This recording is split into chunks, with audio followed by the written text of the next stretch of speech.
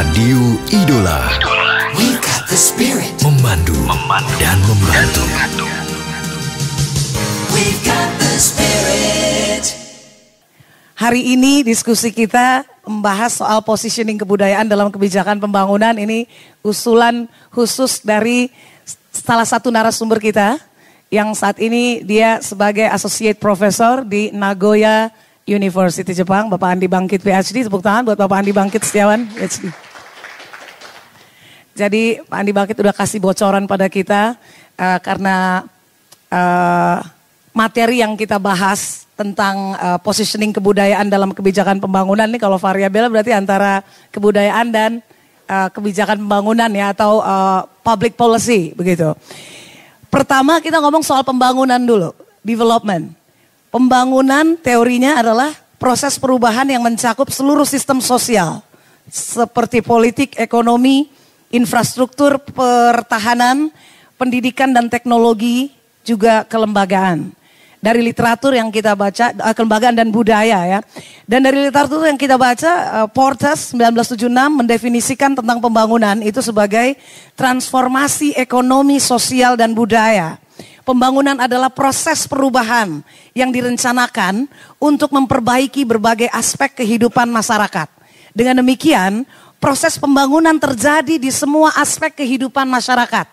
Ekonomi, sosial, budaya, politik yang berlangsung pada level makro atau nasional dan mikro atau community atau grup.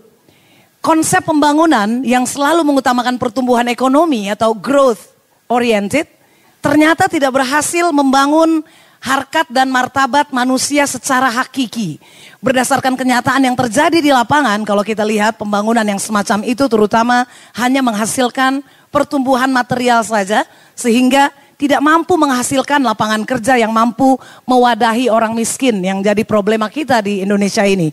Pembangunan itu justru telah menjerumuskan bahkan dunia ke dalam tiga krisis besar yaitu kemiskinan, kekerasan dan juga kerusakan lingkungan. Contoh konkretnya adalah bagaimana pembalakan liar dan penggundulan hutan yang kerap kali dilakukan demi sebuah proyek pembangunan. Bahkan uh, saya juga pernah berbincang dengan uh, seorang um, pe, pecinta lingkungan yang mendapat uh, hadiah penghargaan juga tentang lingkungan di mana di Kalimantan itu ya dia sengaja peduli pada sejenis uh, binatang uh, primata namanya oa itu semakin tergusur karena perkebunan yang dilakukan di sana perkebunan kelapa sawit dan masih banyak contoh lain. Mari sekarang sebelum diskusi kita mulai kita buka perspektif kita dulu tentang pemahaman soal kebudayaan. Banyak orang keliru memahami kebudayaan.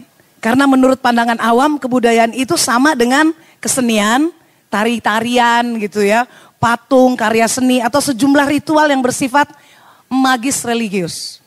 Secara konseptual, kebudayaan itu adalah keseluruhan sistem gagasan, tindakan, dan hasil karya manusia dalam rangka kelangsungan hidupnya yang dijadikan sebagai milik manusia melalui proses belajar. Itu dikatakan oleh Kuncara Ningrat tahun 1990. Sedangkan isi dari kebudayaan itu sendiri kalau menurut si Clark tahun 1953 paling sedikit ada tujuh unsur yang disebut dengan kebudayaan universal. Yaitu religi, sistem pengetahuan, organisasi sosial atau sistem kemasyarakatan, kemudian uh, teknologi atau peralatan dan perlengkapan hidup, mata pencaharian, bahasa, dan kesenian dalamnya. Sehingga dapat dikatakan uh, kebudayaan itu berhubungan dengan semua aktivitas sosial, berbagai hasil karya manusia dan berbagai hal yang sifatnya sangat abstrak.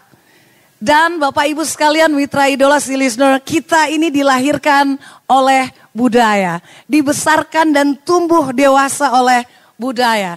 Dan akhirnya kita mati pun masih berkait dengan budaya. Oleh karena itulah maka tidak heran jika uh, kemudian Edward M. Brunner tahun 1986 mengatakan bahwa the past create the present, sorry, the past create the present and the present creates the future. Ini artinya bahwa sejarah peradaban masa lalu itu menciptakan peradaban masa kini dan peradaban masa kini akan menciptakan peradaban masa yang akan datang. Kita ambil contoh ya, misalnya pemerintahan Orde Baru selama lebih dari 30 tahun telah melahirkan masyarakat dengan kondisi sosial budaya, ekonomi dan juga politik yang ada pada saat ini. Kita ini adalah hasil produk dari budaya di Orde Baru dulu. Jadi dalam diskusi pagi hari ini nanti kita akan membahas dan mendiskusikan masalah ini. Kami memohon juga urun rembuk Anda di mana pun berada sebagai tanggung jawab moral kita sebagai civil society. Kita akan mendiskusikan, jadi sebetulnya bagaimanakah semestinya positioning kebudayaan dalam kebijakan pembangunan kita apa saja langkah-langkah konkret untuk mewujudkan agar kebijakan pembangunan kita ini berperspektif kebudayaan dan benarkah pembangunan yang terjadi saat ini banyak yang salah urus akibat pengambil kebijakan mengabaikan aspek kebudayaan tersebut. Guna menjawab pertanyaan-pertanyaan itulah dan masih banyak tentu pertanyaan-pertanyaan lain yang akan kita diskusikan di sini, maka Radio Idola 92,6 FM dalam Semarang Trending Topic diskusi membangun Jawa Tengah. Pada bulan Maret ini mengetengahkan tema positioning kebudayaan dalam kebijakan pembangunan. Bersama kita di tengah-tengah kita saat ini telah hadir dua orang narasumber yang nanti kita akan uh, jadikan sumber untuk memberikan perspektif dan wawasan ya kepada kita soal ini yaitu Bapak Andi Bangkit Setiawan PhD Associate Professor Education and Human Development Nagoya University. Tepuk tangan buat Pandi Bangkit. Dan satu lagi juga ada narasumber Bapak Cahyo Setiono MA. Beliau adalah dosen ilmu politik Universitas Negeri Semarang UNES. Pak Cahyo terima kasih telah hadir. Untuk Anda hadirin yang sudah datang ke sini terima kasih banyak yang sudah memenuhi undangan dan antusias untuk ikutan diskusi. Dan untuk Anda yang di rumah atau dalam perjalanan mendengarkan hanya dapat mendengarkan di uh, tempat Anda berada sekarang, Anda tentu kami ajak juga nanti untuk berpartisipasi, Anda dapat menyampaikan pertanyaan atau komentar, pendapat, tanggapan Anda melalui SMS Radio Idola di 0811 279260 SMS dan WhatsApp atau WA sama nomornya ya. Dan juga bisa melalui BBM, PIN BBM Radio Idola 5B0A DD57. Dan semua diskusi kita ini akan didokumentasi dalam sebuah video juga dalam web radioidola.com. Juga tentu saja hasil diskusi ini beberapa statement dari narasumber juga akan ditweet melalui Twitter kami. Jadi silakan mention atau follow Twitter kami at Idola Semarang.